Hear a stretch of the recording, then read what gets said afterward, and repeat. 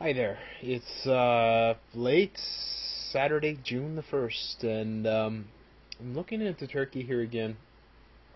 Um, I find this an important story because it's something that has gone from a, a, a very small, sort of peaceful, almost, um, you know, uh, completely ignored protest to now potentially um, government shaking type protests Turkey's a very interesting country. Um, we've had a lot of Turkish people respond. Some of them, well, well, all of them coming from different sort of um, political backgrounds and um, their own sort of mindset. Turkey is more or less the bridge for the Western world into the Middle East, right? I mean, literally, if you talk about Istanbul uh, being on the Bos the Bosphorus, the famous crossing over the sort of the entranceway to the Black Sea. Um, historically, one of the most important cities that has ever existed. One of the most beautiful cities in the world. Um, so it's it's a very very important country. It's an extremely important country um, throughout history, um, strategically, even in the 1962 uh, Cuban Missile Crisis, Turkey played a big part uh, because the the Americans had missiles set up there uh, in one of their bases. Um, but I don't want to digress on that. But what's happening there now could potentially lead to a civil war, which is very, very well. It would be a big deal, and what we have essentially is we have the old versus the new, or you can say the Western world versus the Islamic world, kind of coming together and and duking it out. Um, one of the videos I put up had some what appeared to be knife fights on the street, and what Turkish people were putting in was that it was Erdogan, uh, the leader of Turkey, supporters of Erdogan and his party I think it's the ADK, who um, are considered moderate Islamicists. Right now, I know Turkish people come on here and school me on this, and God knows they would know a lot more than me about this. But I've always followed Turkey with interest because of its strategic and and important um, ramifications to um, the Western world and also the Middle East. So it's a, it really is a bridge country, so it's very, very important uh, strategically. Um, so these protests, which kind of started out as more or less a tempest in a teapot, I mean, it was over a park. Of course, it's always so much more to it than just just that. But uh, the fact that the Turkish um, government was hell bent on building a shopping mall, but it now it seems like, of course, most of the people that are protesting are um, more secular, right? They are the westernized Turks. A lot of young, I don't want to use the term the young Turks because then I'll think of Cenk Uygur, but you know what I mean? Um, they're young, they're westernized, they've experienced the culture, the alcohol, the uh, sexual liberation, and stuff like that of the Western world. And therefore, you have a clash of cultures where you have the older, stricter Islamic code that um, wants to reinforce itself in Turkey, and then you have the liberal sort of westernized. And there's bad on both sides. I mean, really. I mean, I've been the first one to criticize the West for. I mean, if you check out our channel, there isn't enough I mean, there, there's there's just a, a, plethora, literal plethora of, of criticism on Western culture, Western governments, Western sort of uh, global uh, policy. So I do not mean to. I'm not here to side with the West or even side with the protesters, but at the same time, um, the government of Turkey responded very belligerently to the protest and and really fanned the flames. So I'm going to play this uh, latest uh, uh, clip here from the BBC and uh, take it from there. Nearly a thousand people have been detained following a second day of violent protests in Turkey. Police and demonstrators fought running battles in the centre of Istanbul and in the capital, Ankara. The demonstrations began in response to plans to redevelop a park in Istanbul's historic Taksim Square, but they turned into a wider expression of anger at the government. From Istanbul, James Reynolds reports. For a second day, the city which bridges two continents came apart. Here, protesters in Istanbul fight a battle with the police.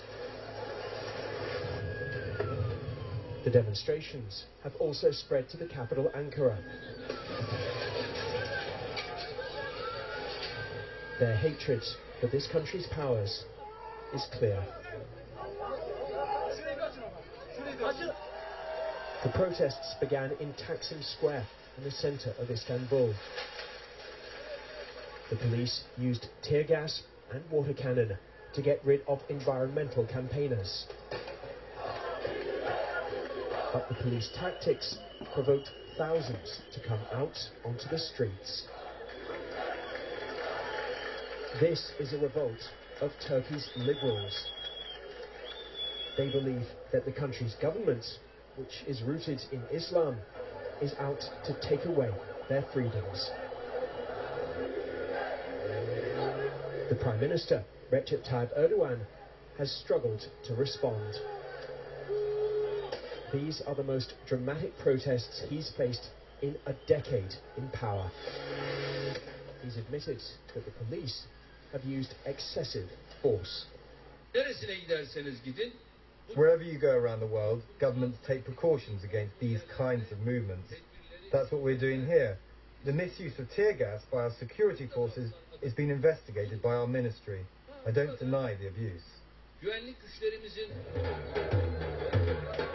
In the evening, demonstrators took over the centre of town. Tonight here in Taksim Square, there is a sense of victory among protesters. The police have been forced to withdraw, and the demonstrations here over the last 24 hours have exposed serious divisions in Turkish society.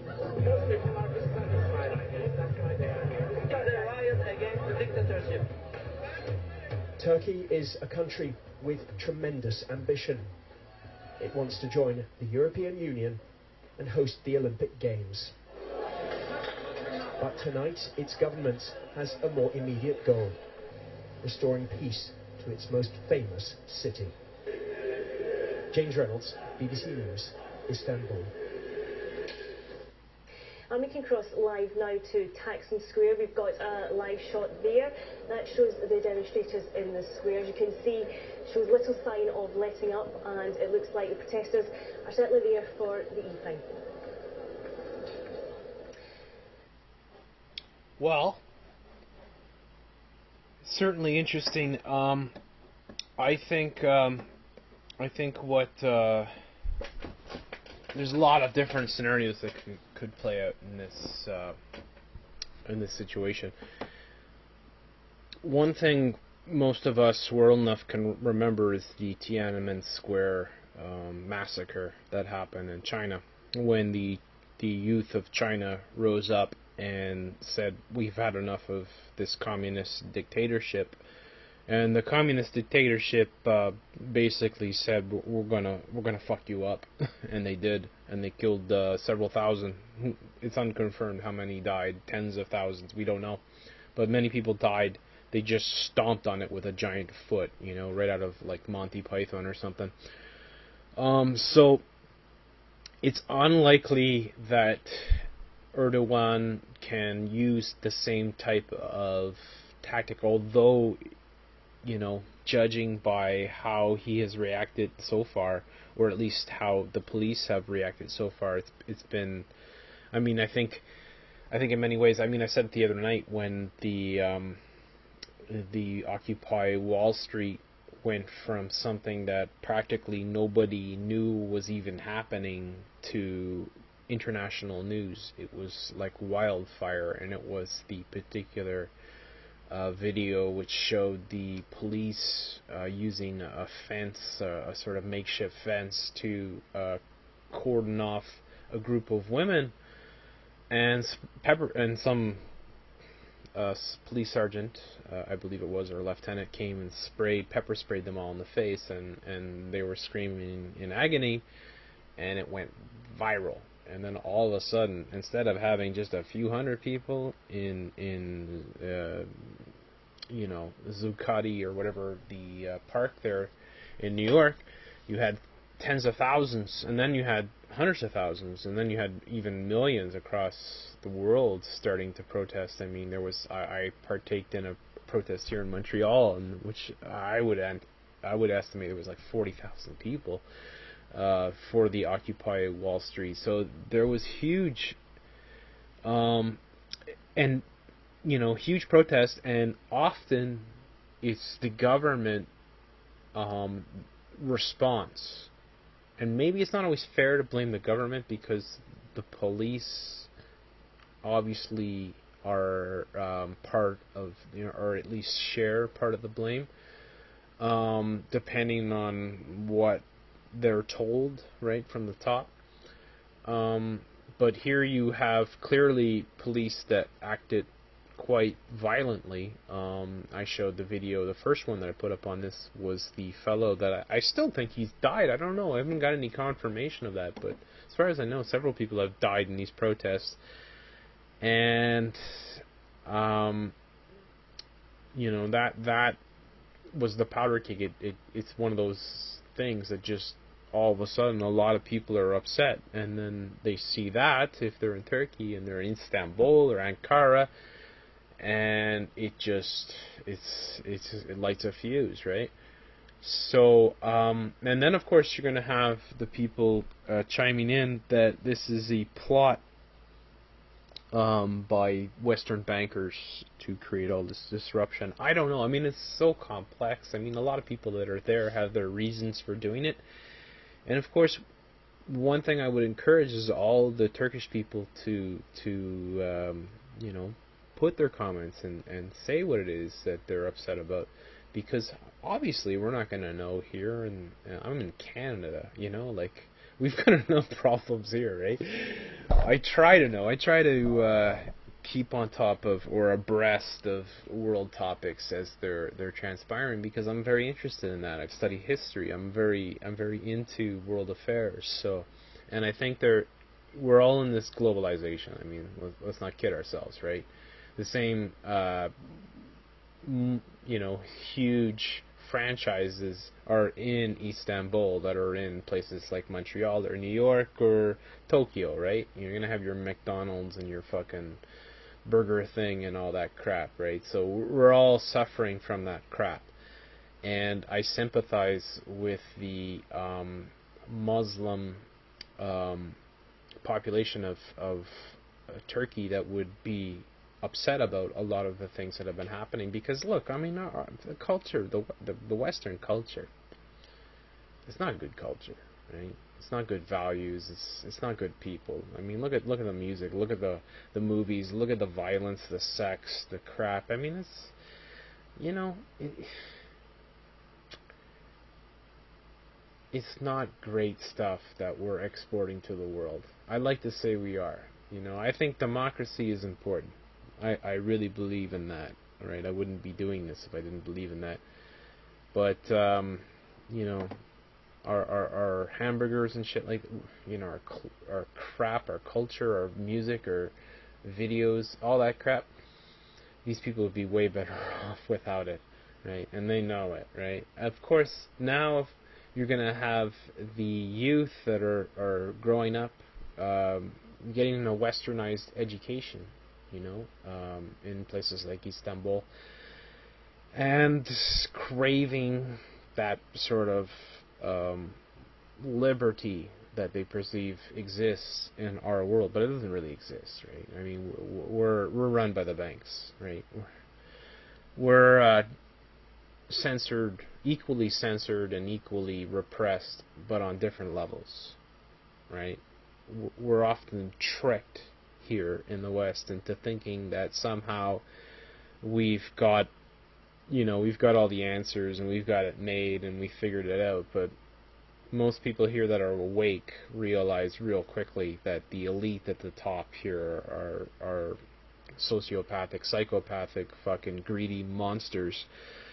And their main objective is to depopulate the planet. Um, whether they are creating these um, types of, I, I, I think it's too hard to create these type of things. I think you can, right? If it's it's it's possible. There's no doubt about it.